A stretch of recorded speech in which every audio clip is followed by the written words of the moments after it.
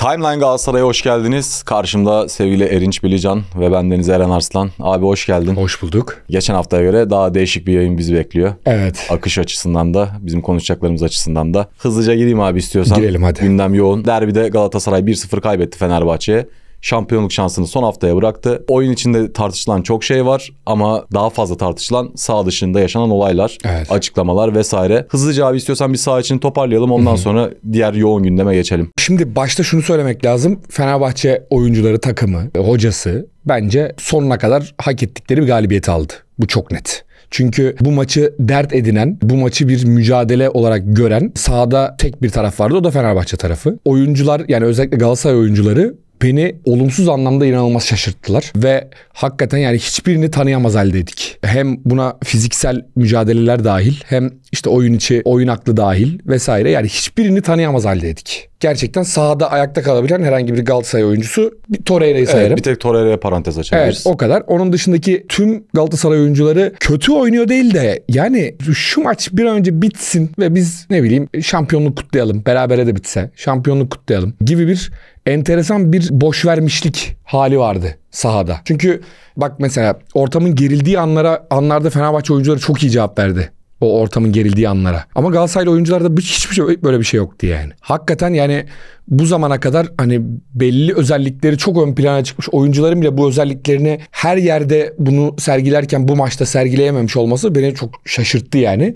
Ve hakikaten bizim maçtan önce yaptığımız bütün yorumları çöpe attı. Hem Galatasaray oyuncuları gerçekten fiyasko bir maç geçirdi hem de bizim Galatasaray oyuncularını düşünerek bu iyi özelliklerini düşünerek yaptığımız yorumları resmen bir fiyasko yoruma döndürdü yani. Çünkü maçtan önce ben Ziyech'in Ferdi'nin içe kat eden oyunculara karşı zorlandığını işte Zaniolo'su, Koyta'sı falan yani onları onlardan bahsederken Ziyech'in bunu fiziksel olarak yapamayacağı okey ama zeka anlamında ve oyun görüşü anlamında bunu yapabileceğini düşünüyordum. Ferdi eve gittiğinde herhalde cebinden Çıkarmıştır. anahtar, cüzdan bir Ziyech. de Ziyech'i çıkarmıştır yani hakikaten. Nefes aldırmadı. Hiç. Sıfır. Topa basayım döneyim pas vereyim bile yaptırmadı adama yani. İnanılmaz bir üstünlük kurdu. E, öbür tarafta da Barış Alper'in ben Osayi'nin biraz daha savunma hani fiziksel anlamda Osayi hiçbir zaman savunmada sıkıntı çekmiyor okey ama hani birebir kaldığında Osayi savunma anlamında zaafları var diyordum. Barış da orayı hiç kullanamadı. İkisi de sarı kart gördü abi. Onun etkisi mi oldu acaba? İki tane çok emin olduğum durum vardı gerçekten. Yani bunu olabilecek bir senaryo olarak görüyordum. Büyük bir fiyasko oldu yani. Hem oyuncular açısından hem de maç öncesi yaptığımız yorumlar açısından yani. Abi peki sence burada işin buraya gelmesinin sebebi teknik taktik mi yoksa konsantrasyon eksikliği mi? Şöyle tabii ki Okan Buruk'un teknik taktik ve oyuncu tercihleri hani eleştireceğimiz bir durumlar var. Ama yani tamam hoca eyvallah bir yanlış bir 11 çıkarmış olabilir işte e, müdahale etmekte geç kalmış olabilir ama arkadaş sen de şeyde sahada bir cevabını ver. Yani reaksiyonunu göster. Hiç yani reaksiyon gösteren kimse yoktu bu arada. Ya Mustera bile tanınmaz haldeydi. E, evet. Yani o yüzden sadece bir şeyi konuşmak çok zor ama bence asli sorumlu olanlar bence sahada olan oyunculardı. Peki abi sosyal medyada özellikle büyük infial yarattı bu maçta oynanan oyun. Ee, özellikle yabancı oyunculara inanılmaz tepkiler var. Onları da soracağım sana. Ama Okan Hoca'nın tercihleriyle alakalı Abdülkerim'i yedek bırakması, oyuncu değişikliklerinde çok uzun süre beklemesi, Kerem'i oyuna atmaması vesaire Berkan'ı. Ya Kerem Demirbay'la Ziyech çok kötüydü zaten. Onu da sorayım abi. Okan Hoca neden bekledi sence? Rakibin 10 kişi kalmış olması bunu da etkiledi. Evet bence ondan oldu. Rakibin 10 kişi kalmasını fırsat bilip orada hani sayıca üstünlükten bu fiziksel şeyi dezavantajı en azından dengeleriz diye düşündü ama ya Fenerbahçe takımı 9 kişi kalsa da bu eksikliği hissettirmeyecek gibiydi yani. Ya çünkü İsmail Kartal'ın şöyle bir başarılı bir planı vardı. Dedi ki ben önce bir fiziksel olarak üstünlüğü ele alayım sonra gole bakarız dedi. Maçın başından sonuna kadar bir dakika bile herhangi bir Galatasaray futbolcusu herhangi bir Fenerbahçe futbolcusuna fiziksel olarak üstünlük kuramadı. Yani çünkü ortada Mert Hakan Yandaş, Fred var, Ciku var. Hadi Ciku gittik sonra. Osayi var burada. Eferdi var. Sonra ileride Şimanski var sağ kanatta. So bir tek Tadiç'i sayabiliriz Fenerbahçe'de. Böyle fiziksel olarak böyle hani dirilik anlamında, her yere koşturma anlamında hani bir tek Tadiç'i bırakırız ama Abi geri kalan Tadiç de oyun zekasıyla çok fark yarattı Aynen yani. öyle. Önde Batshuayi abi bir dakika durmadılar. Bak yani bir dakika durmadılar yerlerinde. O yüzden hiçbir zaman oyunun üstünlüğünü de ele alamadım. Ben mesela şeyi Abdülkerim'in oynamaması kötü bir fikir değildi bu arada bence. Ama Davinson'u sola atmak bence iyi bir fikir değildi. Ben ayrılıyorum abi senden bu noktada. Bence Abdülkerim'le başlamak gerekiyordu maça. Ya hayır hayır. bak şimdi maç bittikten sonra evet öyle düşünüyorsun. Ama maçtan önce özellikle de Abdülkerim'in Karagümrük performansını düşününce kötü bir fikir değildi. Ama Davinson'u sola atınca tamam mı? Zaten Nelson oyun kurmada sıkıntılı bir stoper. Davinson'a sola atınca onun da oyun kurmasını düşürüyorsun. Oyun kurma seviyesini düşürüyorsun. Bu sefer elinde iki tane oyun kurmada sıkıntılı stoper oluyor. Şimdi bence ters olsaydı bu en azından Davinson'un oyun kuruculuğunu tamamıyla kullanabilseydik ve Nelson burada solda köyünün açıklarını kapatma görevi daha böyle emniyet sübabı görevi görseydi bir şeyler değişir miydi ona da emin değilim bu arada yani hakikaten. Yani Abdülkerim oynasa da bir şeyler değişir miydi ona emin değilim. Ya ben hücum anlamında belki etkisi olabileceğini düşünüyorum abi. Çünkü ben sene başından beri gözlemledim. Galatasaray hücum organizasyonlarını sol taraftan, savunma sigortasını sağ taraftan sağlıyor. Evet. O yüzden Kaan, Nelson, Torreira tarafı daha çok sağ tarafı kullanıp sigortayı sağlarken Abdülkerim, Kön, Barış Alper gibi oyuncular da hücuma ataklarını başlatan aksiyonları gerçekleştiriyor. Ben Abdülkerim'in kesilmesinin bunu etkilediğini düşünüyorum. Oyun kurulumunda büyük problem yaşattığını düşünüyorum. Kerem Demirbay da yani sıfır bir performans gösterince takımın aksiyon yaratacak herhangi bir etkeni kalmadı bence. İşte bak ben ben orada ayrılıyorum. Yani orada zaten adamlar Mertens'i kitledi. Mertens'i kitledi. Demirbay'ı kitledi. Oradan Ziyech'i kitledi. E, Icardi zaten iki tane stoperin kucağında. Kayboldu gitti. Evet. Barış Alper'i iyi savundu o sayı. Şimdi sen bu durumda bu kadar ileri hattın bu kadar kitlenmiş durumunda stoperi değiştirsen ne olur değiştirmesen ne olur düşüncesi var biraz da. Hı hı. O yüzden orada fiziksel mücadeleye karşılık verebilecek bir Berkan tamam mı? Evet kesinlikle İki, katılıyorum. Ferdi'yi belki biraz daha fiziksel zorlayabilecek Barış Alper'i Ferdi'nin tarafına çekip Kerem Aktürkoğlu'nu oraya koysaydın ya da Zaha'yı fark etmez. Yani fiziksel anlamda çok daha diri bir takımı 46. dakikada görseydik belki işler değişecekti yani. Abi yavaştan sağ içini kapatayım. Zaten Kapatalım. konuşulacak çok da bir şey yok Galatasaray namına. Maalesef bizim Galatasaray, biraz... Galatasaray oyuncuları ve teknik heyeti sağ olsun e, maçtan önce yaptığımız bütün yorumları böyle çöpe attılar gerçekten. Abi sağ dışına gelmeden önce önce Okan Buruk'un açıklamasıyla başlayayım ben. Şampiyonluğu son haftaya bıraktık. Bu bir kaza dedi. Bu tür kazalar Evet. oluyor futbolda. Ben bunu 2000 yılında da kendi sahamızda Fenerbahçe'ye kaybettiğimizde yaşadım. Hepimize ders oldu. Taraftarımızdan özür diliyoruz. Önümüzdeki hafta inşallah bugünden daha fazlasını yapıp buraya şampiyon olarak döneceğiz gibi bir açıklaması var. Bence son derece yerinde. Hatasının farkında. Okan Hoca'nın en sevdiğim özelliği abi asla öz eleştiri yapmaktan kaçınmaması. Defalarca buna benzer açıklamasını hatırlıyorum. Evet. Yanlış yaptığı zaman yanlış yaptığını çok net bir şekilde ifade edebiliyor. Ben Okan Hoca'nın sadece bu özelliğinden bile çok başarılı bir hoca olacağını düşünüyorum. Aynen öyle. Maç sonunda da zaten hani sorumluluk ben dahil herkes bugün çok kötüydü gibi bir açıklamayla bence sorumluluğu tamamen üstüne aldı. Olması gereken de bu. E, şampiyonluk dediğin zaman 38. haftayı şampiyon bitirdiğin an o saatten sonra sezon içerisinde birine yenilmişsin. Ona kazanamamışsın falan ve bunların hiçbir önemi yok. Tarih şampiyonu yazar. Bu kadar basit. İsmail Kartal abi şampiyonluğu kimin hak ettiğini gösterdik gibi bir açıklama yaptı. Daha sonra Okan Hoca'ya da bir soru geldi bununla ilgili. İsmail Kartal şampiyonluğu kendilerinin hak ettiğini ve Hak, hak et... ettik, hak ettikle alakalı değil. Orada rakibimizin ittirilmesi Ha, tabii o mevzular çok uzun bir kullandı. açıklama olduğu için Evet. bayağı iç döktü İsmail Kartal. Sonra bu Okan Hoca'ya da soruldu. İsmail Kartal şampiyonluğu kendilerinin hak ettiğini ve sizin hak etmediğiniz anlamına gelebilecek cümleler söyledi. Bu konu hakkında yorumunuz nedir diye. Okan Hoca da dedi ki biraz önce İsmail Hoca soyunma odasına geldi. Bana farklı konuştu. Burada ne konuştu bilmiyorum. İki takım da başarılı olduğunu söyledi. Geçen sezon biz Fenerbahçe'yi sahamızda 3-0 yenmeseydik buna benzer şeyler konuşulacaktı. İsmail Hoca'nın ne dediğini dinlemedim dedi. Çok da Okan Hoca ciddiye almamış açıkçası. E, ciddiye alınacak bir şey değil çünkü bence İsmail Kartal iyi bir psikolojide değil. Çok uzun zamandır. Ben kendi camiasıyla bir iç hesaplaşma içerisinde olduğunu düşünüyorum evet, abi. bence orada zaten bir şey söyleyeceğim. Yani İsmail Kartal'ın hiçbir e, hedefi Galatasaray camiası ya da bir şey değil. Tamamen bütün hedefi Fenerbahçe camiasıydı. Özellikle Başkan Mourinho haberlerinden sonra E, bayağı tabii, bir e, konsantrasyon şeyde, Aziz. Yıldırım tarafında Mourinho, Ali Koç tarafında Pioli haberleri vesaire. Bence bütün hedef kendi bir camiasıydı. mesaj vermek istediğini Aynen öyle. ben de. Aynen öyle. Orada da biraz abartıp 10 dakika önce Okan Hoca'ya farklı konuşup 10 dakika sonra da basına farklı konuşmuş oldu. Üzücü. Keşke böyle demeçler en azından teknik direktörlerin ağzından duymasak. Çünkü teknik direktörler her zaman saha içinde kalması gereken, çok mühim bir şey olmadıkça, çok önemli bir şey olmadıkça saha içinde kalması gereken insanlar.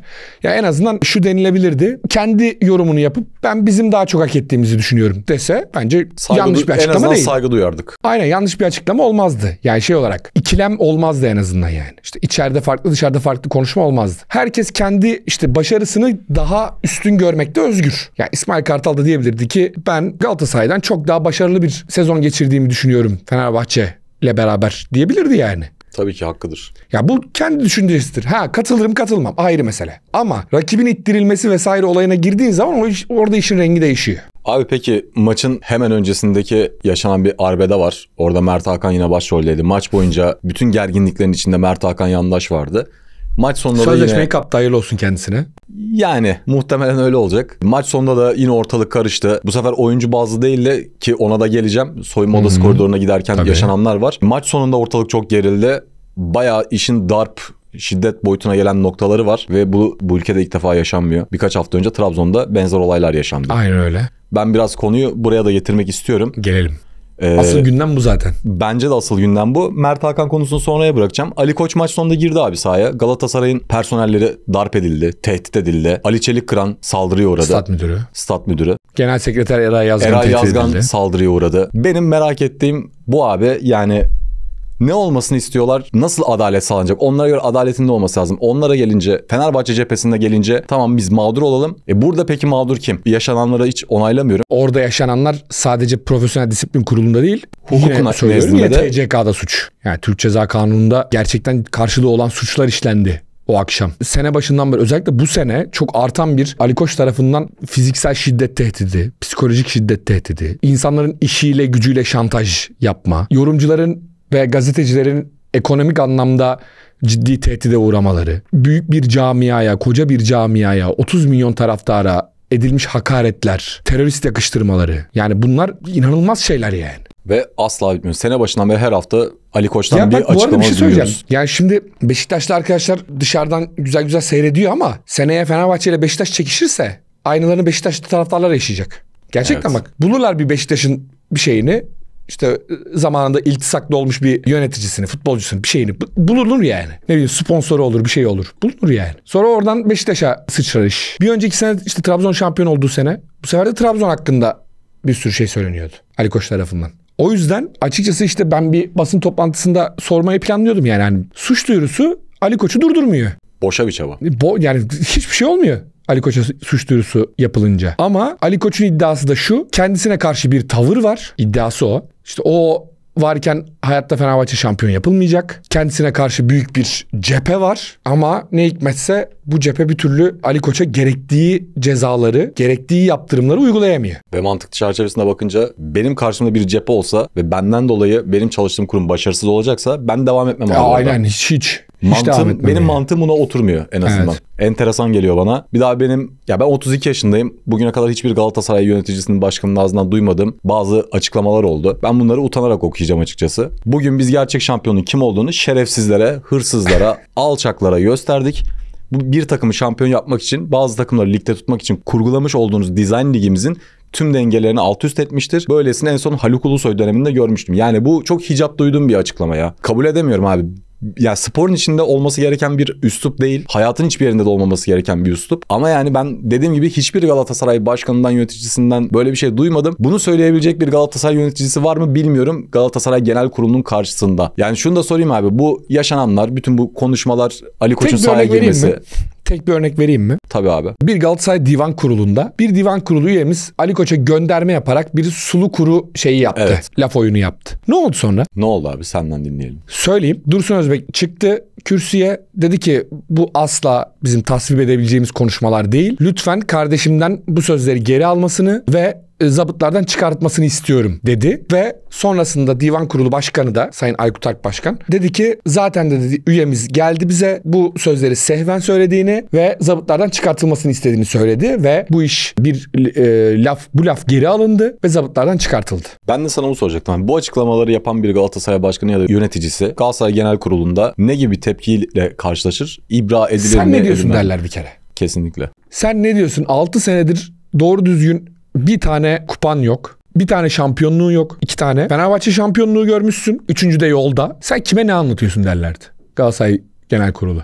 Daha şeyine gideceğim. Ali Koç'un soyunma odasında yaptığı bir konuşma var.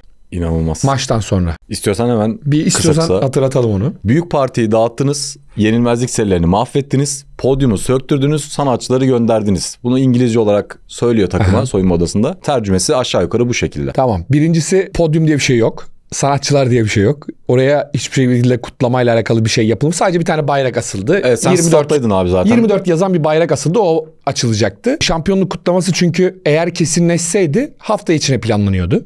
Çok net bir şey. Ha, Gününü de söyleyeyim. Çarşamba gününe planlanıyordu. O yüzden hani şarkıcılar geri gitmedi. Podyum sökülmedi. Onu baştan söyleyelim. Ama bir Galatasaray başkanı Saracoğlu'nun soyunma odasında böyle bir konuşma yapsaydı ertesi genel kurul ibrasızlık tehdidiyle karşı karşıyaydı. Katılıyorum abi. Çok net. Yani şimdi genel kurulda yapılacak konuşmaları şu an böyle tahayyül edemiyorum yani. Öyle öyle bir tepkiyle karşılaşırdı. Tabii ki. Abi peki şey de sorayım Ali Koç'tan gidiyoruz madem. Derbi galibiyeti için şampiyonluk kadar önemli. Galatasaray'ın şampiyonluğunu kutlatmamak demiş. Bu abi bana geçmişe gittiğim zaman bir şey anımsattı. Ersun Yanal'ın berabere biten bir maçtan sonra yanlış Belki hatırlamıyorsam bir, bir birlik maç Bir olması birlik lazım. maç evet.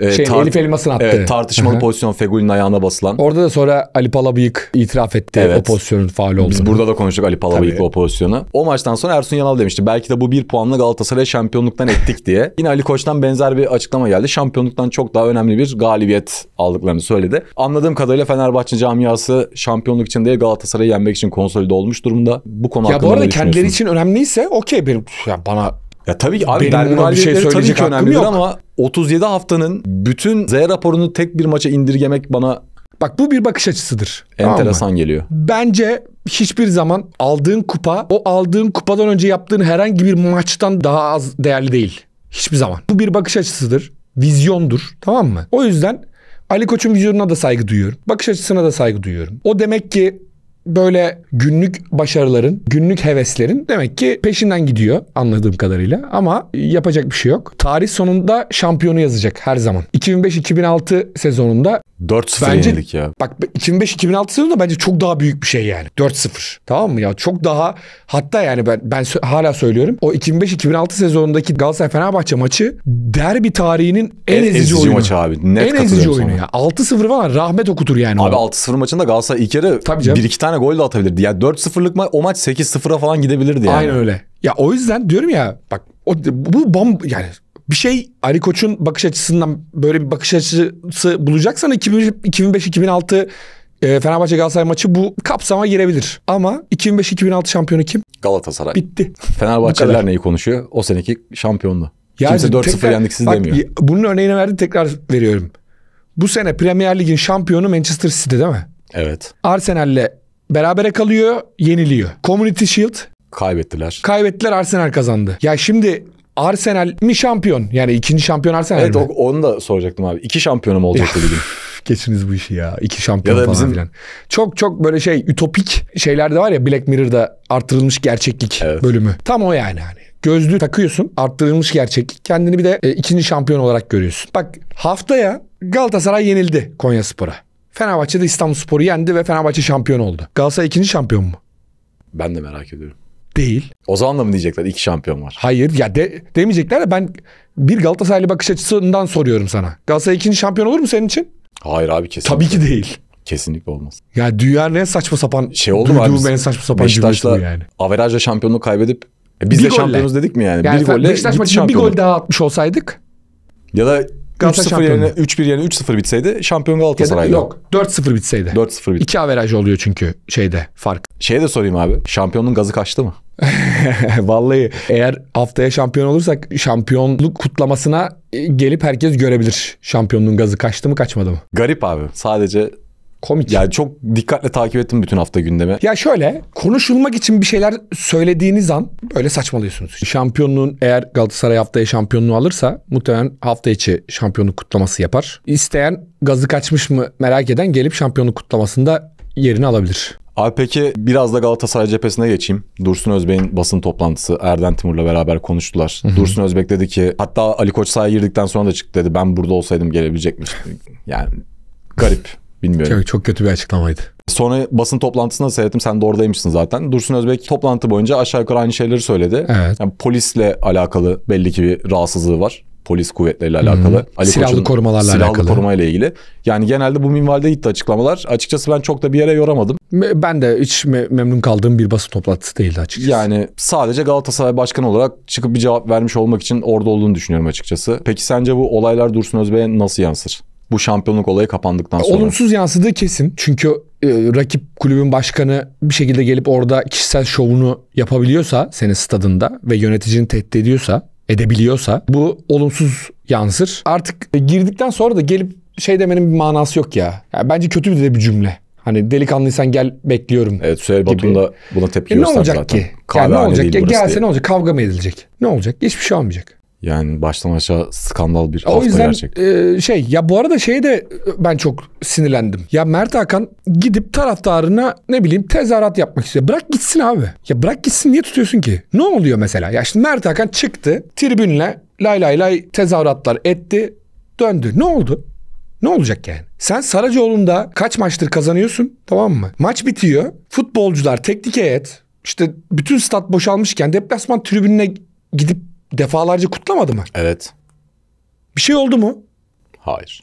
E yok bitti. Tamam bak burada da mesela Galatasaray hatası var. Sen Fenerbahçe'nin stadında deplasman tribününle maçtan çok sonra galibiyeti tekrar kutlayabiliyorsun. Bir sıkıntı yok. Ama sen kutlatmıyorsun. Bırak çıksınlar abi. Yani bir de şöyle bir strateji hatası. Sen insanların hikayesini niye büyütüyorsun? Büyüttün işte. Bir numaralı gündem oldu. Ya Bir numaralı değil, büyüttün. Herkes kişisel şovunu yaptı. Seni sırf bu kompleksinle çıkartmayacağım. Ben kutlatmayacağım kompleksinle herkese ayrı ayrı kişisel şov yaptırttın. Ne gerek var ki? Ya bir de abi gidip kutsa- kutlasınlar ya. Ya bu kadar e, şey misiniz yani? Sonuç olarak hak ettikleri bir galibiyet aldı yani. Abi bak tekrar söylüyorum. Yani hak etti yani yüzde bir milyon hak etti. Ben Kutlamaya da Galatasaray beraberliği bile hak etmedi o maç. Katılıyorum. Ya bırakın kutlasınlar ne oluyor kutlayınca? Boş tribünler önünde deplasman tribünüyle kendi taraftarlarıyla da bırakın kutlasınlar ya. Ya bu, bu kompleks işi bence. Hakikaten bak bu kompleks işi kutlatmayız bilmem ne ışıkları kapatalım çimleri sulayalım falanlar filanlar. Bunlar çok büyük kompleks işi. Tatsız abi. Ne olacaktı ki yani? Mert Hakan gidecekti. 19 8 7 5 6 3 onu da yapamıyor bu arada da. 19 7, onu yapacaktı. Lay lay lay Fenerbahçe diye tezahürat yapacaklardı. İki alkış, bir bilmem ne. İşte bir şu bu falan bitti gitti gidici gireceklerdi içeriye. Buna da izin ver yani bir zahmet. Ya izin vermene de gerek kalmasın orada. İzin vermek de ne demek? Ya katılıyorum abi. Ben şey hatırlıyorum Kazanan takım mesela. kutlayacak kardeşim. Bu kadar basit. 3-1'lik Kadıköy'deki maçtan sonra ben o gün tribündeydim. Maç bittikten yaklaşık bir saat sonra falan Fatih Hoca, ekibi, bütün oyuncular Aynen öyle. stat kapkaranlık. Bir sadece telefon ışıkları yanıyordu tribünde. Aynen öyle. O ışık içerisinde geldi. 10 dakika 15 dakika oyuncular hoca kutlamayı yaptı. Bu kadar bitti. Ondan sonra herkes gitti. Sonra polis taraftar da çıkardı. Olaysız bir şekilde dağıldılar. Aynen öyle. Bitti bu kadar. Yani sen Saracoğlu'nda yapabiliyorken bunu senin stadında bunu yaptırmaya izin vermemek de yanlış. Yanlış yani. yani. İki kere iki dört. Abi o zaman bu faslı da kapatıyorum. Kapatalım. Sana sen maçtaydın abi. Evet. Sana Galatasaray taraftarına tribünleri sormak istiyorum. Taraftar konusuna biraz değineceğim bugün. Rahatsız olduğum bazı noktalar oldu Tamam. kişisel olarak. Önce tribünle başlayayım. Nasıl buldun abi derbide? Stad atmosferi çok kötüydü. O çok net. Birincisi. İkincisi ama takım da hiç tribünü ateşleyecek en ufak bir hareket, en ufak bir şey hiçbir şey yapmadı yani. Yani ondan da kötü olabilirdi yani. yani böyle maç başladı, bitti. Tribünün biraz sesini yükseltecek hiçbir aksiyon yaşanmadı. Yani Tamamen silik bir Galatasaray. Mert Hakan'ın Silmiş bir Galatasaray. tribünden uğultular. E, aynen öyle. E, ama şey şey çok komiğime gidiyor benim ya. Mert Hakan'a bu kadar tribünün do- dolması, sinirlenmesi çok garibime gitti benim ya. Abi o bence maç başlamadan önce o gerginlik ateşini yaktı ya. Sanırım onun yansıması. E ve ne- ben- ne gerek ve var yani? Mert ben, bence bu kasıtlı olarak yapılmış bir şey. Ya kasıtlı da arkadaş biraz dolacağın, sinirleneceğin amiyane tabirle herkesin e, kullandığı tabiri söylüyorum. Kuduracağın topçu Mert Hakan değil bence. Volkan Demirel tamam mı? Yani bu işin prime'ıydı. Tamam mı? Hakkıyla yapıyordu. Evet. Çok saygı Evde duyuyorum. duvar yumruklatıyordu. Tamam mı? Yani bu, Saygı duyuyorum. Yani bu, bu konuda tamam mı? Bak her zaman şunu söylerim. Melo sen de çok seviyordun. Fenerbahçe'de olsa nefret ederdin. Volkan Demirel Fenerbahçeliler çok seviyordu. Galatasaraylılar nefret ediyordu ya. Volkan Demirel Galatasaray'ın kalecisi olsa Tam Galatasaraylılar tersi çok oldu. severdi. Evet. Çünkü niye biliyor musun? Bunlar aynı zamanda topunu da oynuyordu. Emre Bunlar aynı da. zamanda istikrarlı bir şekilde takımlarını işte şampiyon yapıyordu. Derbi e, şeyleriydi, galipleriydi bunlar. Bir psikolojik üstünlüktü. Tuncay çok yapardı bunu mesela. Tuncay, Tuncay, ama Tuncay. her derbide bir skoru vardı abi Tuncay'ın aşağı yukarı. Tuncay mesela. asist. Mutlaka vardı. Emre Belezoğlu. Bak Emre Belezoğlu en son sıralarda ama yani Volkan Demirel bu işin Nirvana'sın. Nirvana'sıydı ya. Kaliteli yapıyordu bu işi. Ama Mert Hakan'da öyle bir durum yok yani. Hani çok belli ediyor. Kendini bir camiaya işte e, entegre etmeye çalıştığını çok belli ediyor. Ama Volkan Demirel zaten entegre haliyle bir de başarılı yapınca iyi yapıyordu. Ben söylüyorum yani Volkan Demirel Galatasaray kalecisi olsaydı Çok severdik. bayılıyorduk. Abi peki sosyal medyada mağlubiyetin yansımaları böldü taraftarı. Bir kısım hala konsantrasyon şeyini koruyor. Diğer kısımda benim asla anlayamadığım, algılayamadığım Okan Hoca'ya, oyunculara, Icardi'ye, işte Barış Alper'e bile. Günlük yaşayan kesim işte. Yani abi gerçekten nutkum tutuldu bazı yorumları gördüğümde. Yani rekorlar kırmış. 2 senedir takır takır top oynatan, 2 senede belki 3-4 tane mağlubiyeti olan bir teknik direktöre inanılmaz şeyler gördüm yazılan.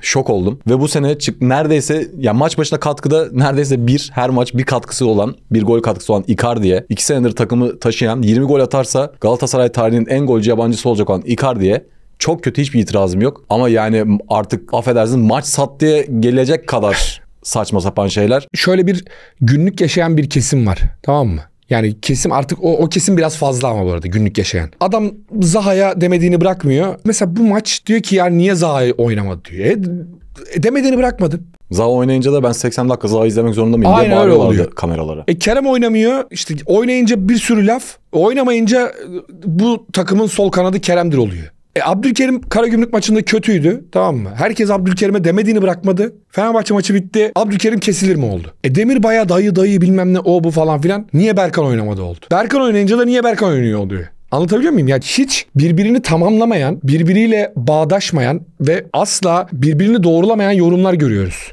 Abi Vandan Aran'ın gönderilerinin altına küfürler falan yani saçma sapan yerlere gidiyor iş ve unutulan bir detay var. Icardi Arabistan'a gitse çok daha fazlasını kazanabilecek. Doğru. Çok daha farklı bir hayat sürebilecek, baskısız yaşayabilecek bir insanken yani Galatasaray'a gelmesi bence onun takım olan aidiyetini yeterince gösteren bir şey. Ben Icardi'ye en son sonuçlanacak şeyin aidiyetsizlik olduğunu düşünüyorum. Kesin canım. Çok yanlış bir tavır. Kesin yani bak adam takımı gerçekten yalnız bırakmamak için belki kötü oldu bu arada.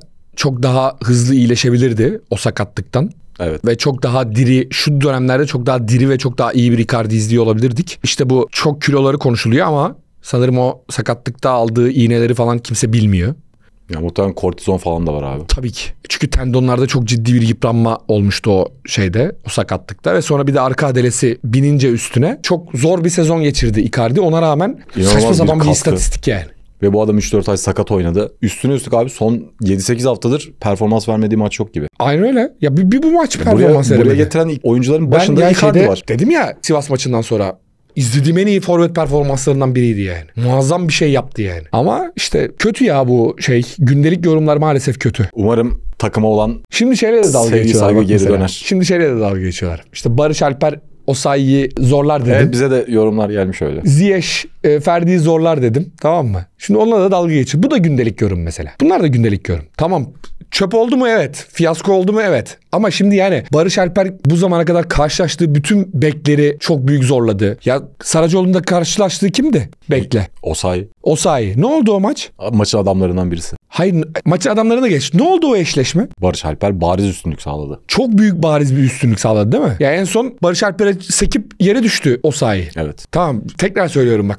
Maçtan önceki Ya- yaptığımız yorumlar büyük çöp oldu. Hepsi gitti. O itirazımız yok zaten. Bizim Tamam da bu gündelik tersi bir, oldu. gündelik bir yorum yani. Şimdi Ziyech yani tamam gerçekten Ferdi sıfır yaptı böyle. Eksiye düşürdü yani böyle. İnanılmaz bir şekilde. Ama Ferdi'nin içe kat eden ve fizikli fizikliği ayırıyorum. İçe kat eden oyunculara zorlandığı gerçeğini değiştiriyor mu? Değiştirmiyor. Ya şeyi merak ediyorum abi. Zaniolo geçen sene Ferdi'yi sağdan sildi. Ferdi çöp mü oldu? Kötü bek mi Hayır, oldu? Kötü değil. oyuncu mu oldu? Değil. Yani evet tam Ziyech bu maç etkisiz. Berbat performans. Oynayamadı. istediğini de yapamadı. Ama bu Ziyech'in üstünlük kuramayacağı anlamına gelmiyor. Bir sonraki maçta da tam tersi olabilir. Olabilir yani. Yani- Bir de şimdi şey de var Eren. Ya başta söyledim ya. Dert etmiş bir Fenerbahçe oyuncu, oyuncu grubu Ya vardı. inanılmaz motiveydi abi. Yani tamamen şeydi yani gurur meselesi yapmış ve bu gurur meselesini de her anlamda her saniye fiziksel anlamda tempo anlamında sahada cevabını vermiş bir Fenerbahçe vardı. Ve bu gurur meselesinin abi e, müessibi Galatasaray tarafı değil. Fenerbahçe camiasının içindeki olaylardan dolayı bence Doğru. gurur meselesi oldu. Aynen öyle. Yani Galatasaray'la ilgili bir durum da yok ortada. Hafta boyunca yaşananlar, Aziz Yıldırım'ın Ali Koç'un açıklamaları, gündemler, İsmail Kartal'a söylenen sözler kendi medya grubundan. Bence onları konsolide eden bu kadar gurur meselesi haline getiren bu. Doğru. Oyunculara da çok laf söylendi Aynen çünkü. öyle. Yani O yüzden Bilmiyorum. onlar gündelik yorum yani. Tabii ki işin makarası gırgırı. Sen burada bir yorum yapıyorsan tamam mı? Maçla E, ki. alakalı.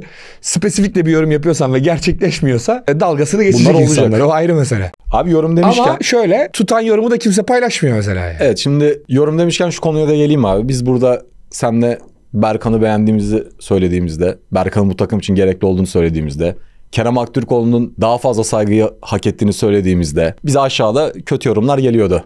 Canları Yani sağ olsun. eleştiriyorlardı. Canları Haklarıdır. sağ olsun. Bir şey diyemem. Görüş ayrılıkları olabilir. Gelinen noktada haftaya Konya Spor maçına muhtemelen ve çok yüksek ihtimalle Berkan ve Kerem Aktürkoğlu çıkacak. Fenerbahçe maçından sonra Kerem Aktürkoğlu'na inanılmaz bir konsolidasyon vardı Galatasaray tarafından. Kerem Kafasını Aktürkoğlu da bence adamlardan biri oldu. Bence tam bir kaptan hareketi göstererek ne kadar kıymetli olduğunu göstererek güzel bir açıklama yayınladı. Açıkçası takımda güvenebileceğimiz oyuncular arasında ben en üst sıralara 2 senedir 3 senedir hep Kerem Aktürkoğlu'nu yazıyordum. Aynen öyle. Performans gelip geçicidir ama Kerem'in aidiyetinin çok baki olduğunu düşünüyorum. Doğru. Konya Spor maçında da bence bunu gösterecek kaptan olarak. Umarız. Umarız güzel bir final yapacak. Hatta yani bu Fenerbahçe maçına girdikten sonra bile gerçekten bir şeyleri değiştirmek isteyen, bunun için çabalayan ve hani zorlayan yegane oyunculardan biriydi Zaha ile beraber. Yani Zaha'da Fate Only diye bir paylaşım yaptı. Evet, yani Zaha yani- bile artık girmiş mola gibi. Zaha ve Kerem hakikaten Fenerbahçe maçında bu işi dert edinmiş Torreira'dan sonra iki oyuncuydu. Katılıyorum abi. Haftaya göreceğiz ama ben Kerem'in en azından bu şekilde geri dönüş almasından dolayı taraftarın biraz daha Kerem'e sahip çıkmasından dolayı mutlu oldum. Hem Kerem için hem bir Galatasaray. Yani o haftaya yine bir şeyler olur ve olumsuz yorumlar gelir. Ona gelir. İşte şimdi herkes Zaha'nın peşine takıldı. İşte bir şey olursa yine Zaha Yok Kerem'in mental kırgınlığıyla alakalı söyledim abi bunu. Yani Ha, onun için okey, onun için tabii. iyi olmuştur anlamında. O da biraz özgüven depolamıştır. Umarım, umarım. Ne kadar ihtiyaç olduğunun farkına varmıştır Umarım. diye düşünüyorum. Abi o zaman yavaştan hafta sonuna doğru geçelim. hadi geçelim. Astroloji dünyasını yakından ilgilendiren bir maç. Bütün astroloji dünyası bu maça fokus olacak. Bütün Astroloji saçmalıktır. Ne diyorsun abi? Astroloji saçmalıktır bunu diyorum. Başka bir şey demiyorum. Yani şeyden bağımsız yani şampiyonluk mücadelesinden bağımsız genel olarak hayat görüşümde düşündüğüm şey bu. Şu an- Astroloji saçmalıktır. Şu derbiden sonra Türkiye'nin en çok konuşulan ismi Meral Güven. E, aynen öyle. E, Meral Güven'in bir sürü tutmayan şey de var bu arada. yani. Kehanetleri Hani var. ke- Kehanetleri mi derler ona? Fal mı derler? Abi nasıl bir maç bekliyorsun? Konya Spor Galatasaray. Ee, Şöyle bir durum da var. Karagümrük küme düştü. Hatay Spor Ankara gücü. Hatay Ankara gücü ve Konya şu an. Evet. 3 ihtimalli bir ligden düşme durumu var. Ama şey Konya'nın yenilip ikisinin birden yenmesi gerekiyor. Evet. Yani Konya bir nebze daha avantajlı gibi gözüküyor. Beraberlikte yetiyor Konya'ya. Evet. Hatay Spor Rize ile kendi sahasında oynayacak. Ankara gücü Trabzon'a gidiyor. Trabzon'a deplasmana gidiyor. Yani orada muhtemel senaryoda işe en zor olan takım Ankara gücü gibi gözüküyor. Evet. Diyelim. Sadece şöyle Trabzon belki hani kupa finalinden sonra falan filan hani bir şey olabilir. Hani orada biraz daha Rotasyon, gevşeme maç. olabilir. Çünkü yeri de artık garanti Trabzon'un. Yeri de garanti. Kupayı da alırsa böyle orada bir gevşeme olabilir. Ama Galatasaray'ın zaten Konya Spor karşısında bu işi sona bırak yani böyle bir Yani şey bence Konya. Spor'un ne olduğuna bakmadan Tabii bu işi canım. ilk yarıda falan bitirmesi gerekiyor. Tabii tabii. Yani çok büyük bir özür borcu var.